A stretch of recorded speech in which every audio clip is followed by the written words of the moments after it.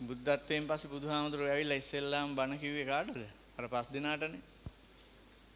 ඒ පළවෙනි වර කියවීමේදීම එහෙම කරනකොටම එක්කෙනෙක් මොකද කරේ? අවබෝධ කරගත්තා. අනිත් අය අහන් හිටියේ නෑ එහෙමද? අහන් හිටියා. මොකක් වුනේ නැද්ද? මොකක්ද කිව්වේ?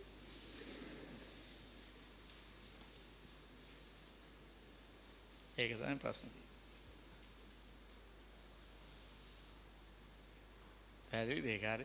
එක්කෙනෙක් ටක් ගාලා ඒ කිය පළවෙනි වර කීමේදීම මොකක් කරාද? අවබෝධ කරගත්තා. ඒ නිසා එක එක්කෙනාට අවබෝධය ඇති වෙන විදිය මොකද වෙන්නේ? වෙනස්. දැන් ඔය අවබෝධය ඇති වෙන විදිය ගත්තොත් සමහර වෙලාවට ඔබ ඒ ගැන පොඩ්ඩක් හොය හොයා try කර කර ඉන්න වෙලාවක සමහර විට ක්ෂණිකව මේක අවබෝධ වෙන්න පුළුවන්. මම මේ කියන්නේ නිවන් දකින්න එක නෙමෙයි ඕන ගැටලුවක්. අපි හිතමුකෝ ෆිසික්ස් වල ගානක් කියලා.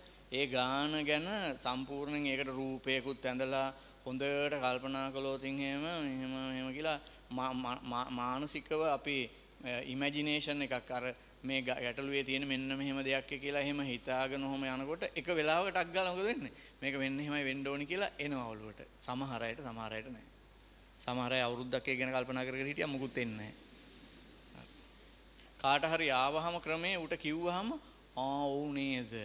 එහෙම කරන්න තිබුණනේ අනේ ඔව් කියලා ඉතින් පටන් ගන්නවා. හරි. ඒක තනියම එන්නේ නැහැ. ඇයි ළමයි? ඉතින් හැටි ඉතින් ඒක එක එක්කෙනාගේ මනසේ හැටි. එක එක්කෙනාගේ මනස්වල ස්වභාවය වෙනස්. හැබැයි මේම් මේක හොඳට මතක තියාගන්න.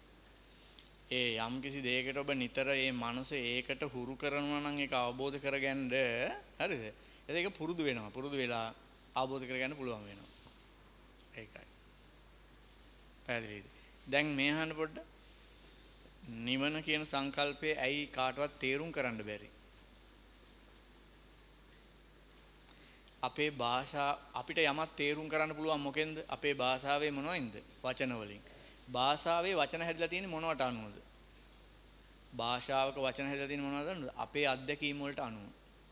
අපිට දැන් සීතලයි, දැන් රස්නේ, ඒ ඔක්කොම අපේ අත්දැකීම් වලින් හැදලා තියෙන්නේ. එතකොට නිවන කියන එක මොකක් නෙමෙයි මොකෙන් තොරයිද? දැන් දැන් හිතන්නකෝ දැන් මම ඒක අවබෝධ කරගත්තයි කියලා. අවබෝධ කරගත්තයි කියලා හිතන්නේ. ඒත් මට මොනව කරන්න බැයිද? මට දැනෙන දේ මොනව කරන්නද? ඔව් කියන්න මොකක් නැද්ද? මේ ඕගොල්ලෝ දන්න මොනව නැද්ද? වචන නැහැ. ඒතර මම ඕගොල්ලෝ දන්න වචන වලින් කියන්න ගියාම වෙන්නේ මොකද්ද? වැරදි අර්ථ දැක්වීමක් එනවා. ඒ තමයි සාමාන්‍යයෙන් වෙන්නේ. ඒ කියන්නේ අපේ අත්දැකීම් අනුව තමයි වචන හැදිලා තියෙන්නේ. මේක හරියට මේ වගේ. ඉබ්බෙකුයි මාළුවෙකුයි ඉන්නවා වතුරේ. ඉබ්බ වතුරේ පීන පීන ඉන්නවනේ. ඒක ගොඩ බිමේ ශ්‍රවමක් දාලා එනවා. ඉතින් මාළුවාට කියනවා මොකද කියන්නේ මාළුවාට? ගොඩබිම කියලා එකක් තියෙනවා. ඒකේ මාර දේවල් මෙහෙම මෙහෙම මෙහෙම තියෙනවා කියලා. හරි? මාළුවාට තේරෙනවද ඒක? ගොඩබිම තේරෙන්නේ නැහැ. ඌ කියනවා මොකද? අනේ බොරු කියන්නේ නැතුව හිටපන් බං. ගොඩබිමක් කියලා ගන්න නැහැ. කියලා එහෙම ඉන්නවා. ඒකයි ප්‍රශ්නේ තියෙන්නේ. ඌට මොනවා කළවත් ගොඩබිම ගැන කියන්න බෑයි.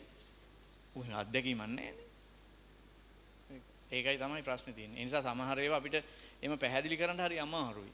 සමහර ඒවා තියෙනවා එහෙම. පැහැදිලි කරගත නොහැකි. හරි. පැහැදිලි කරගන්න බැරි වුණාට ළමයි අවබෝධ කරගන්න පුළුවන්. ඒක මතක තියාගන්න. පැහැදිලි කරගන්න බැරි වුණාට අවබෝධ කරගන්න පුළුවන්. ඒ නිසා අවබෝධය කියන්නේ අමුතුම දෙයක්. ඒ කියන්නේ ෂණිකව තේරුම් යනවා මේක තමයි මේ. හැබැයි එතනින් එහාට මොනව කරන්න අමාරුයි සමහර ලාවට. මොකක් කරන්න අමාරුයිද? තව කෙනෙකුට කියලා දෙන්න අමාරුයි මෙන්න මේකයි ඔය කියන්නේ කියලා. ඒ වගේ අමාරු දේවලුත් තියෙනවා.